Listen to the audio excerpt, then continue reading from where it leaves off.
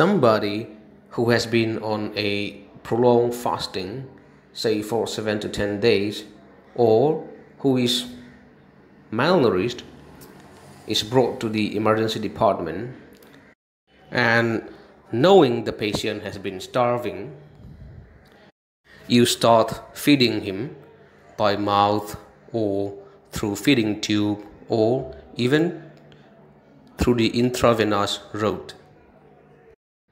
Three, four days passed, and you start seeing various signs and symptoms of electrolyte disturbances, including cardiac arrhythmias. And the patient may die at this point. If the patient survive, then various neurological complications may follow. This is refeeding syndrome. So, refeeding syndrome can be defined as severe electrolyte and fluid shifts associated with metabolic abnormalities in malnourished patients undergoing refeeding. It can be associated with significant morbidity and mortality. The clinical features are fluid balance abnormalities, abnormal glucose metabolism, hypophosphatemia, hypomagnesemia, and hypokalemia. In general, those individuals with marasmus or kwashiorkor are at risk for the refeeding syndrome, particularly if there is greater than 10% weight loss over a couple of months. Patients are also at risk if they have not been fed for 7 to 10 days with evidence of stress and depletion. However, more specifically, this syndrome also has been described after prolonged fasting, massive weight loss in obese patients, including after duodenal switch operations, chronic alcoholism, prolonged intravenous fluid repletion, and anorexia nervosa.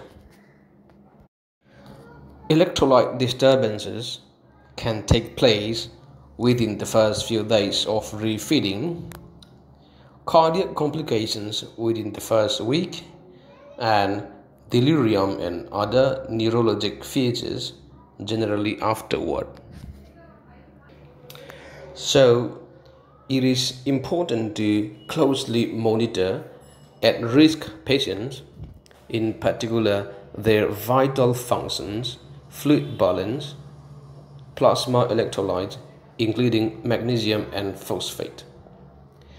Electrocardiographic monitoring can be useful in facilitating the detection of life-threatening arrhythmias. A tachycardia has been reported to be a useful sign in detecting cardiac stress in refeeding syndrome. Plasma electrolyte, in particular sodium, potassium, phosphate, and magnesium, should be monitored before and during refeeding, as should plasma glucose and urinary electrolytes. Before refeeding, electrolyte disorders should be corrected and the circulatory volume carefully restored. In practice, this can delay administration of nutrition but usually can be accomplished within the first 12 to 24 hours. Vitamins and trace element deficiencies also should be corrected and one vitamin of specific importance is thiamine. 50 to 250 milligram of thiamine should be given at least 30 minutes before refeeding is instigated.